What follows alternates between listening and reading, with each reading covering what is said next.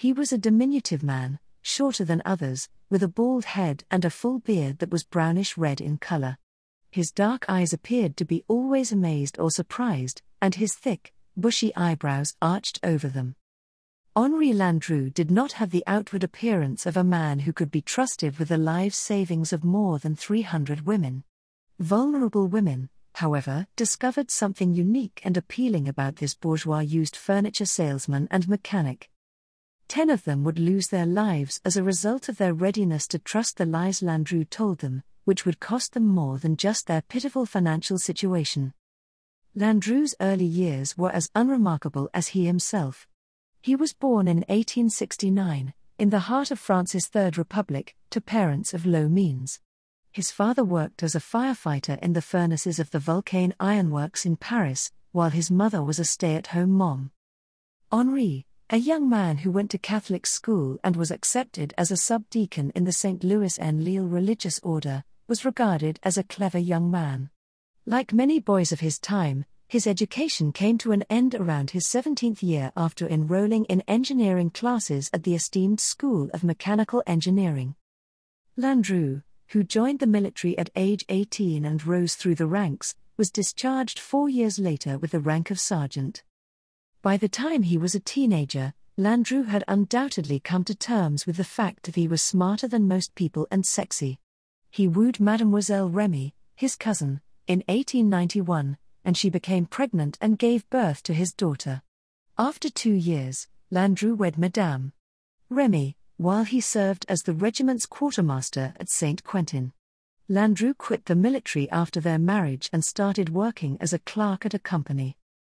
The fact that his boss was dishonest and stole the cash Landru had provided him with as a bond, however, left a lasting effect on Henri.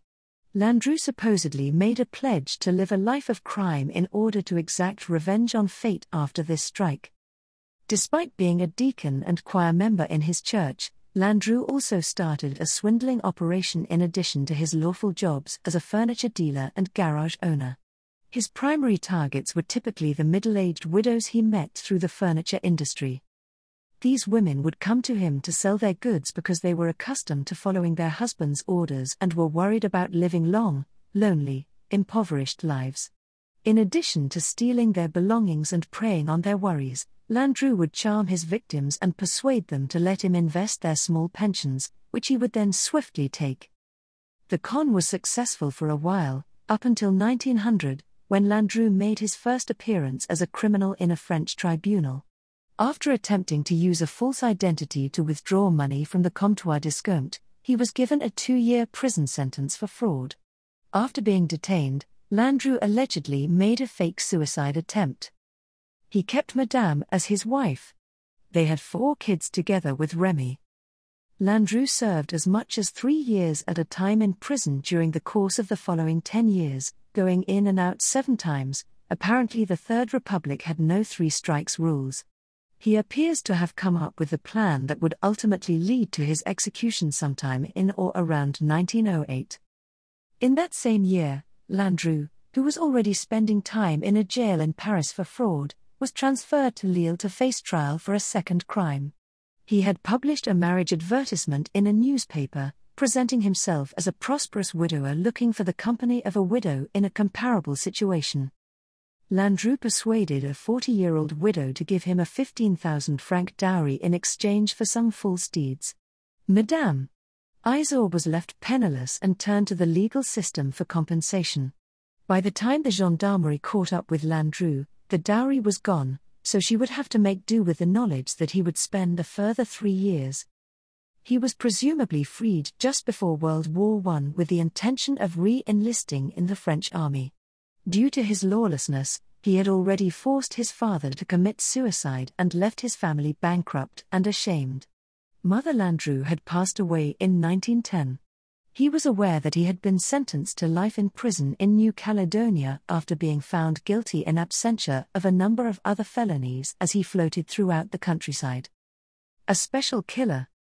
As soon as the war began, Landru, who was still wed to Remy but was no longer in his life, started the con games that ultimately brought him to ruin. Perhaps Landru's transformation into a murderer was brought on by the war and its as yet unknown toll of fatalities, perhaps it was the years he spent in doubtlessly brutal French prisons, perhaps it was something else entirely. The Earl of Birkenhead, a distinguished Oxford Don and the author of famous Trials of History, refutes the idea that Landru's murders of his female suitors were motivated by bloodlust. In the wonderful sequel to famous Trials from 1929, he states, there seems to be no evidence of that. It is natural that some of the ladies would be difficult to shake off, and others would have showed little desire to hand over their property. A guy who starts on this kind of expedition must shake himself free of entanglement. We must therefore postulate that he was callous and inhuman, an assumption that offers no difficulty, seeing as how his very mode of life was impossible for any other kind of man. Birkenhead concludes that the obvious way to overcome their attachment was to destroy them, and to do so was only too easy. The entry in Wilson's Encyclopedia of Murder recounts the savoir faire that made Landru attractive to his victims. His sense of humor and strong will undoubtedly came out during his detention, interrogation, and at his trial. Renowned criminologist Colin Wilson calls Landru a callous ruffian who deserved to be guillotined. If ever a serial killer resembled a mythic figure, it was Henri Landru as Bluebeard. Perrault's fairy tale about the blue bearded monster that kills his wives but is done in by a young woman's curiosity is a well recounted story. Not only does it exist in French literature, but in African, Spanish, and Chinese legend as well. Few serial killers are ever struck by remorse or guilt for their actions, except to say that they are sorry to have been captured, so it is clear that Landru was without conscience. His victims, both the living and the dead, were among the more vulnerable members of society, as a result, it is possible to develop a simple profile of this modern Bluebeard. His physical appearance was more humorous than attractive, therefore, he must have been a smooth, fast talker. His sexual appetite was said to be insatiable. He was undoubtedly a passionate man, able to sweep lonely ladies off their feet. The same time that Landru was taking advantage of women, he was also cheating tired, newly discharged troops of their pensions. Landru was intelligent and silver tongued, not only with the ladies but also with his fellow soldiers and other men. Although he had a mistress and was cheating on both her and his wife, Landru was not a straightforward psychopath like other serial killers, he had a sense of right and wrong, but did not apply the same standards to himself. He also displayed some remorse over some of his actions, not his murders, expressing embarrassment in court that his wife, the patiently waiting wife, had been cheated on by him. Henri Landru is difficult to categorize because he does not truly fall into any one type of criminal profile. At best, he can be referred to as a multiple murderer rather than a serial or spree killer. He cannot really be considered a serial killer, since a serial killer is currently defined as a person who kills three or more victims, in different places, in either an organized or disorganized manner, with some sort of cooling off period between the killings. Typically, the killings are the culmination of a build-up of lust or anger, and the murderer finds a sense of release after the slaying. Spree murderers, in contrast, are those who commit multiple murders over a short period of time in a variety of locations, in a disorganized manner, and frequently without having any control over the victim choice or the time of the murder. Henri Landru was in control of his victim choice and the time of the murder. Spree murderers are typically wanted for at least their first offense, often before that, and law enforcement agencies frequently know their identity before arrest.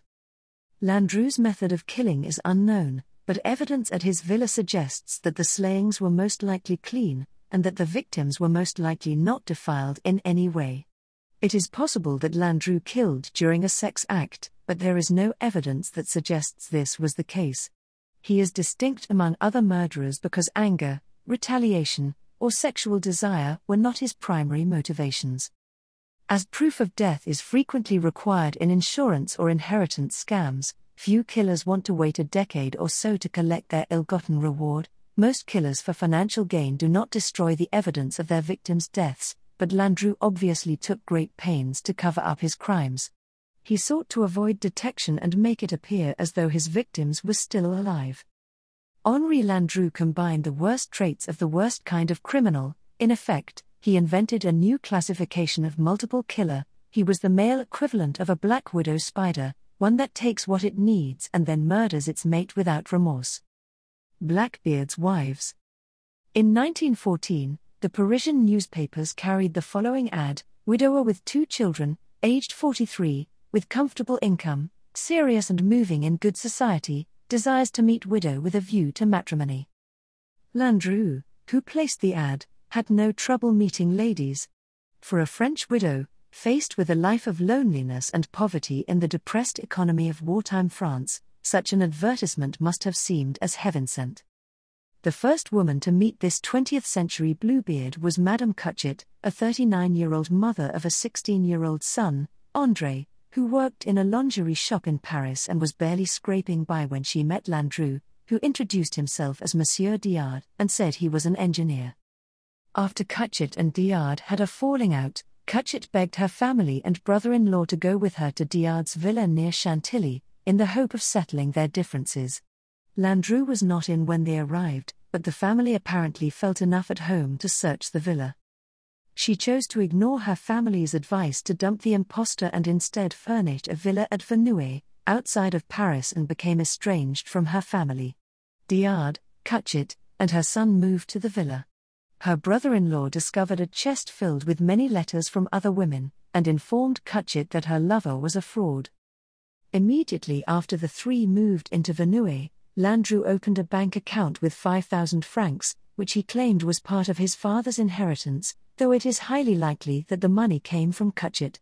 Shortly after Cuchet's disappearance, Landru's wife was given Cuchet's watch as a present. Cuchet and Andre were last seen alive in January 1915. The widow of a hotelier from Argentina named Madame Laborde Line was his next victim. She had informed acquaintances that she was going to marry a charming Brazilian engineer, but due to bureaucratic obstacles, they chose to forego the wedding and live together instead. Laborde Line was last seen in July 1915, when she had arrived at the villa with her two dogs. After that, a man that her old neighbors identified as Landru came back and grabbed her stuff, transferring some to his villa and the remainder to a garage in Neuilly. Also in 1915, a Madame Horn visited Vernouillet and vanished, as did Madame Guillin, a 51 year old widow whose full name was Marie Angelique Desiree Pelletier. Only history knows whether there were others between the killings of Horn and 19 year old Andre Babelay, a servant girl who vanished in March 1917 while traveling to see her mother. Babelay's murder is also a mystery, she was as poor as a church mouse and had nothing to give Landru but her charms. Did she, like Fatima in the legend of Bluebeard, stumble on Landru's secret, or was she simply killed because he could not get? After Babelay vanished, Landru fled Vernouillet for a new home in Gambais and immediately had a large cast iron oven erected. He stayed under the radar for over two years, but soon reverted to his deadly ways. Landru was supposedly busy with other frauds like his detached army scam and a petrol fraud. She traveled with him to Gambais, without her son, who went to live with his aunt, and Buisson was last seen in April 1917. Landru courted affluent widow Madame Buisson for about a year before he was able to create an estrangement from her family. After Madame Louise Leopoldine Jaume, his third victim in Gambais, vanished in September 1917. Landru's new neighbors in Gambais saw black, foul smoke pouring from his property. Finally, Marie Therese Marchadier, an entertainer known among the non commissioned officers of the French army as La Belle Mathise and who had retired to relative anonymity in Paris, was visited by Landru who wanted to buy her furniture. A friendship blossomed and she accompanied the murderer to Gambais in late 1918 and then disappeared. Annette Pascal, 38, followed Jaume by disappearing in the spring of 1918. It would take two worried families to finally bring Bluebeard to justice, after at least 10 women, one boy, and two dogs had vanished after meeting Landru, but no police had ever suspected him of any wrongdoing. The detention of Landru and the investigation. Although Landru had gone to tremendous lengths to keep his victims apart from their families, after they had perished, he still went to considerable lengths to reassure the families that their loved ones were still alive and well. Landru forged letters from Buisson to her dressmaker and to the concierge of her Paris apartment. He sent postcards to two of Guillin's friends claiming that Guillin was unable to write herself. He pretended to be the divorce lawyer for Madame Jaume and closed out her bank accounts. Her sister remembered that Madame Buisson had whispered her intention of running away to Gambais with a Monsieur Guillet, but the family was unable to locate her. Two years after Buisson met Landru, her son, who was staying with her sister, passed away. The mayor of Gambais responded that he was unaware of either Buisson or Guillet, but suggested that she contact the family of a Madame Collomb, who was also missing in Gambais and had disappeared under similar circumstances. Collomb had left after meeting Landru in early 1917, and no one had noticed. When the police went to Villa Hermitage, as Landru's estate was known, they could not find Fremyet, Dupont, Diard, the name given to Collomb's family, or Landru. The villa was vacant but recently lived in, and the mayor told the family of Buisson that the tenant in question was not Monsieur Fremyet, the fiancé of Buisson, but M. Dupont. Buisson's sister Mademoiselle Lacoste was not deterred, she had seen Fremyet and started searching the streets of Paris near Fremyet's former home. In 1919, her search paid off when she saw Landru emerge from a dry goods store and followed him, only to lose him in the crowd. The police were called and Landru was detained when she went back to the shop and discovered that the man's name was Guillet, not Fremyet, and that he resided in the Rue de Rochechouart with his mistress. There was no proof that Landru had killed anyone, and the stubborn Bluebeard was hesitant to cooperate with authorities, so the gendarmerie questioned what charge could be brought against him. Murder was obviously suspected, but where was the body? All the police had was a cryptic memorandum book where Landru had meticulously recorded his income and expenses.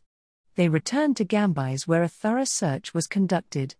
The gardens were excavated looking for bones, but the only remains police found were those of a pair of dogs. They searched his old villa at Vernouillet and came up equally empty.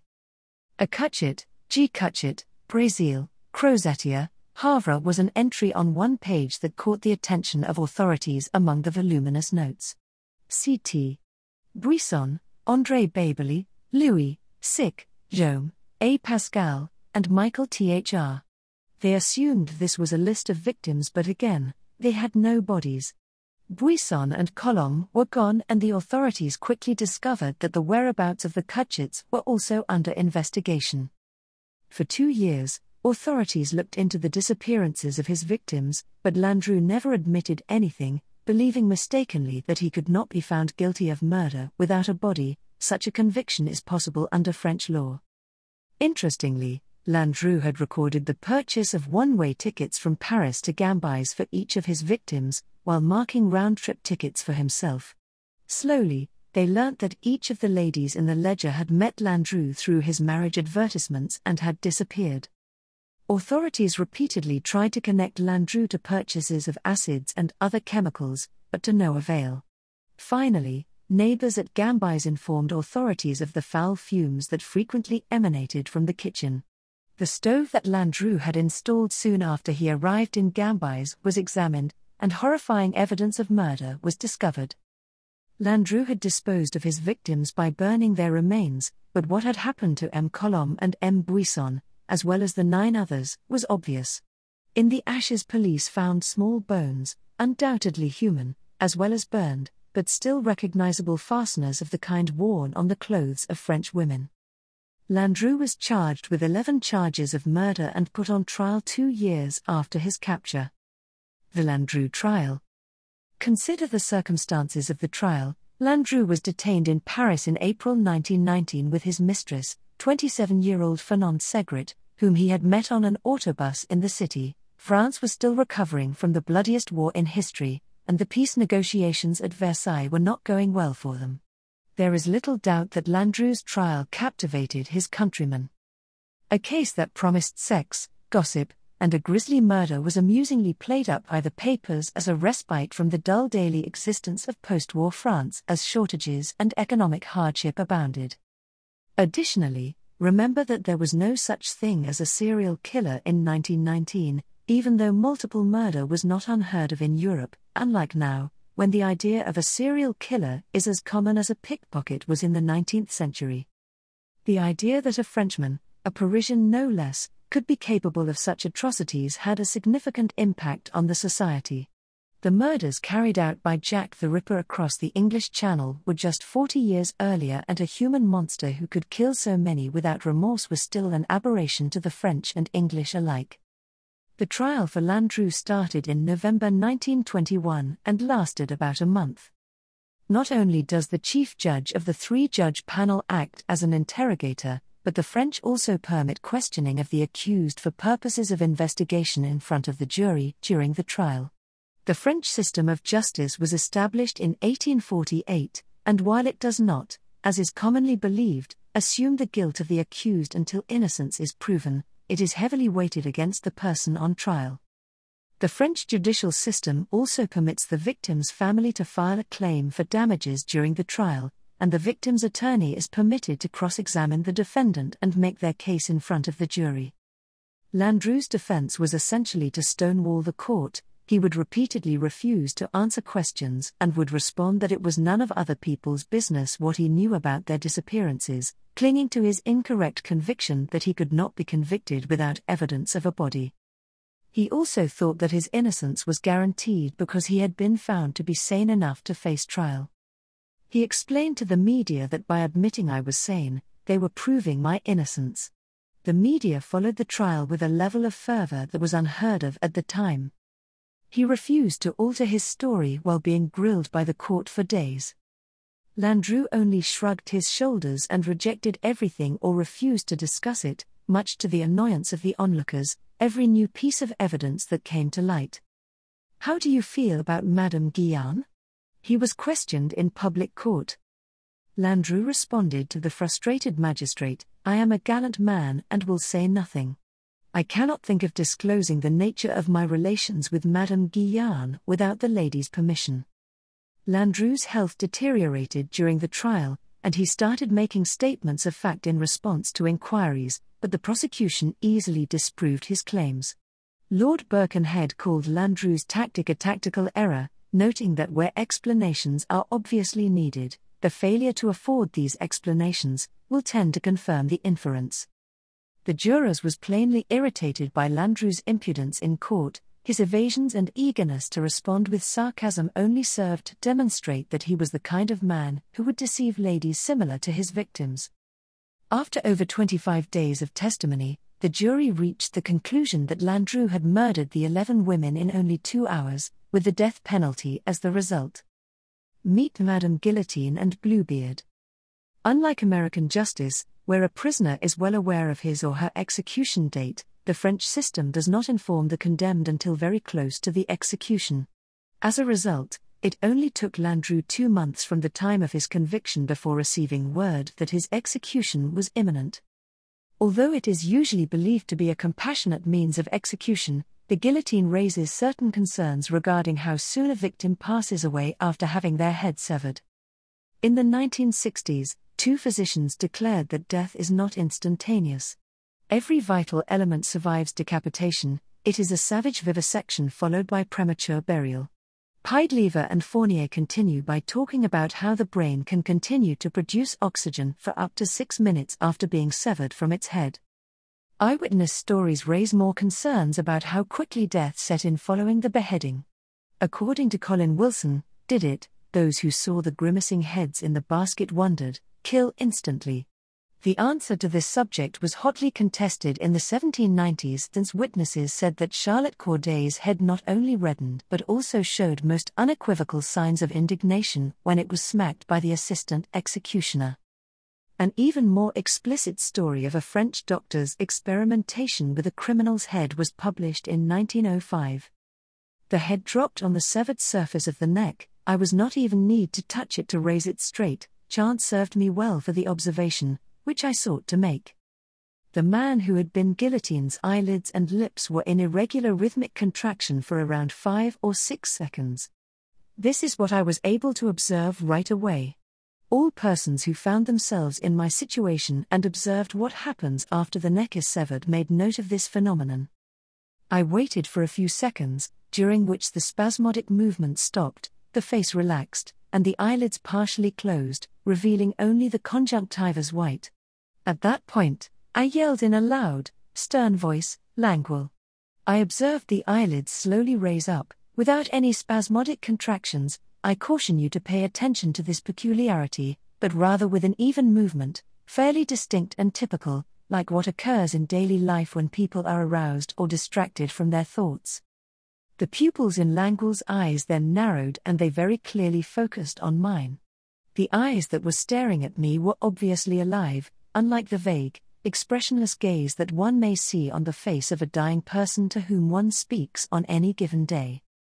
After a few seconds, the eyelids slowly and evenly closed once more, and the head returned to its previous appearance. At that point, I yelled again, and this time, without any spasm, the eyelids gently rose, and unmistakably alive eyes fastened on mine with probably even greater acuity than before. The eyelids continued to close, albeit less completely this time. I tried to mimic the effect of a third call, there was one more movement, and the eyes developed the glazed appearance that the dead have. The entire thing had lasted 25 to 30 seconds, the witness said, and I have just described to you with rigorous exactness what I was able to observe. Regardless, Landru was executed by the guillotine in February 1922. Landru bid his attorneys farewell and gave them some artwork he had created in Incarcerated his attorneys would have discovered a written confession from Landru acknowledging his murders and the method by which he disposed of the bodies if they had examined inside the frame, but this was not found until almost five decades later. He declined to attend a mass and turned down his jailer's offer of the customary brandy glass. Landru furiously declined to respond, claiming that the question itself was offensive. Landru stood in front of the guillotine, which, ever since the French Revolution a little more than a century earlier, had been the country's favored method of death. He knelt down, and in a flash, the blade was down, killing one of history's most callous mass murderers without ever showing remorse.